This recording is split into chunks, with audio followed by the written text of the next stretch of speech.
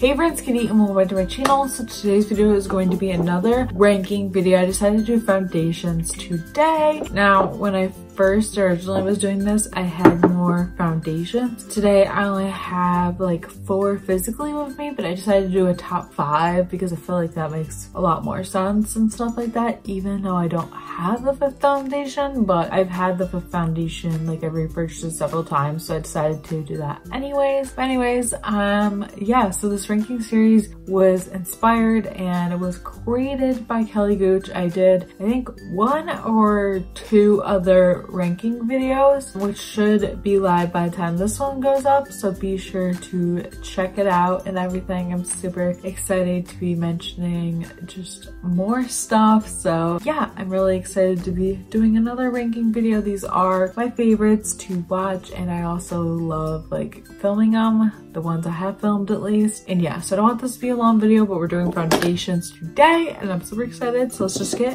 right into it. So number five being the least favorite is the Clinique Beyond Perfecting Foundation. Now, I love the applicator part of this foundation. I took the stopper up because nothing was coming out, but this color does not match me, so I tend to use this like not really. Like, so I always have to use a white mixer when I use this foundation, and that's just a pain. So I don't ever use this foundation, which I feel like is such a waste. I definitely want to use this foundation more. I feel like it's gonna come to a point where I'm gonna start panning it, but I just, I don't know, like I like the formula, I just don't like the color. I think this is why, but out of all my foundations, this is definitely the least favorite in my collection. I just don't love this foundation. I like the formula, but like I just find compared to everything else I own, this is the least favorite for me. But yeah, plus this shade range is just really weird. Like I don't feel like they have a good shade range. So this isn't my favorite and stuff like that, but I do like the applicator. I do like how it is more of a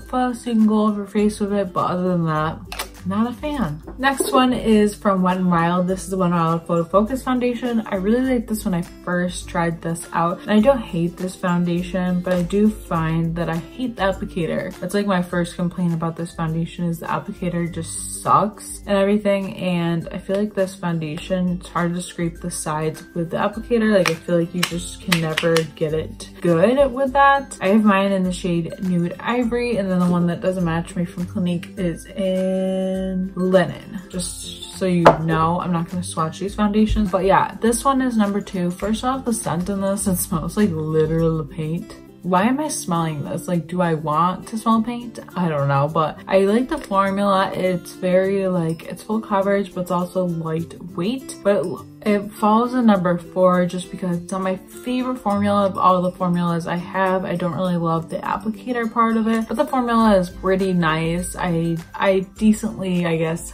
like it, but yeah, not, definitely not the most favorite foundation that I do own, but it's not terrible. It's just not like number two or number one. So next in number three is this one from Emani Vegan Cosmetics. I actually did like videos for their website for them. They actually sent this to me and stuff. They sent me several of their products and everything. And I do like this foundation. This one's in the shade 210 Natural Beige, which I really like. I feel like this shade is a little too deep for me, just like slightly. So I always use a white mixer when I use this or I'll like blend it down my neck. But I really like this. It reminds me a lot of the It Cosmetics CC cream because it's more of like a dewy, lightweight type thing, foundation type thing. It has a lot of vitamins and minerals in it, which I really like. And it's a great foundation. It, it just, it's very lightweight and I liked this for work. I still like it for work, but it's just not the one I've been using recently. I like it because it is lightweight. It has minerals in it it's not toxic or any way, in a way, any way, shape, or form. It is a very nice formula and it is very lightweight, but can be buildable. All these foundations do have buildable coverage, which I like when it comes to my foundations. But this is just in number three, just because it's not my favorite, but I do like the finish that it gives. I think it gives the most natural finish out of some of these. Definitely not the most natural, but it is very natural. There's, there's another one that's even more natural. So my favorite in number two is the the L'Oreal Infallible Fresh Wear Foundation. This is the foundation I'm wearing on my face today. I love how it looks. I have mine in the shade 405, which I'm not sure what shade that is, but this is probably my perfect shade match foundation when it comes to like, this is actually my skin color, which I like. And this is such a lightweight foundation. I just apply it with a brush and then I'll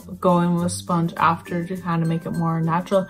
This is the most lightweight. I feel like wearing nothing when I wear this foundation. This is a great foundation. It isn't number one for me, but it is number two. It is pretty close to being number one. I love this foundation. It's pretty much my everyday foundation when I wear makeup foundation foundation. I love it. It is super amazing. It just feels so nice on the skin and it's just super amazing. Like I love it so much. I truly do live for this foundation. It's very lightweight, love it. Buildable coverage. It's like a light medium coverage. Actually, a lot of these are medium to full coverage foundations, but I'd say this is a light to medium, maybe even medium coverage foundation, but I really, really like this. And it's not number one, but it is basically number one, if you know what I mean. Like I really like it. It's not like a hate at all, which number three wasn't, I don't hate any of these foundations. It's just how I'm ranking them. Okay, and the number one that I do not have with me is a L'Oreal Pro Glow. I don't know if anything will ever beat that foundation for me. The L'Oreal Pro Glow is among my favorites. I really like it because it is a light to medium, air light kind of finish, like foundation. I really like it. I always get the shade 202, which matches me pretty well. And I like it because it's a glowy foundation. It's lightweight, it's breathable on the skin. It just feels so nice and the skin feels very lightweight.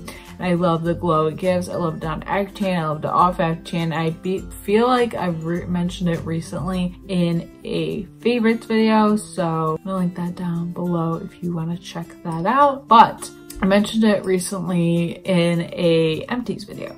So if you want to check that out, I'll link it down below. But this is my favorite foundation just because it is air light, it's glowy. I love a glowy foundation and just super beautiful, which I love. It's gorgeous. I love it on the skin. It feels very nice on the skin. And that was like an everyday product for me for the longest time. And it's such a great foundation. I love L'Oreal's foundations, which I never knew until like these last couple years when I started using more of their foundations and stuff like that. But yeah, this is a very quick and easy video. I feel like I didn't have much to talk on. Let me know down below what your favorite foundations are. Let me know down below. I need to try more foundations. Like there's so many foundations that I want to try that are out there. But, and yeah, so let me know your favorites down below. Be sure to give this video a thumbs up. Also, let me know what other products you'd like to see me rank. I would love to do eyeshadow palette soon. I think I'm gonna split that one into drugstore and high end because I feel like that would be way too hard to do it in like high end and stuff like that. Like it just, I feel like it'd be way too hard to do just as one like high end and drugstore combined. But want to see that, let me know down below. I know it's going to take me forever to do because I